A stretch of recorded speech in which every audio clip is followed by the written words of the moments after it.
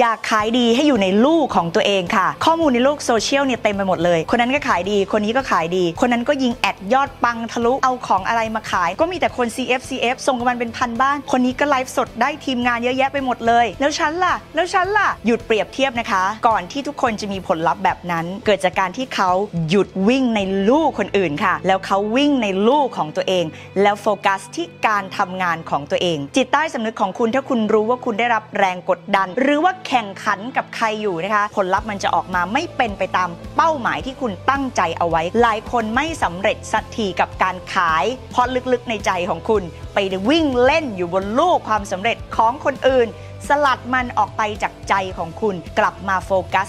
100%ที่การลงมือทำของตัวคุณเอง หยุดไปวิ่งเล่นที่ลูกของคนอื่น และเลิกเอาตัวเองไปเปรียบเทียบกับใคร และเลิกถามตัวเองว่าเมื่อไหร่จะได้แบบนั้น หยุดทุกคำถาม โฟกัส กลับมาที่ลูกของตัวเอง ลงมือทำพัฒนา ลงมือทำเรียนรู้พัฒนาครูการันตีค่ะ สูตรนี้อีกไม่นานคุณก็จะสำเร็จในแบบที่คุณต้องการ เช่นกัน ยังไงคุณก็ขายได้เพราะโลกใบนี้ลูกค้ารอซื้อคุณมากมาย เพียงแต่คุณไม่วิ่งเข้ามาอยู่ในลู่ของคุณ แล้วคุณจะเจอลูกค้าของคุณได้ยังไงคะ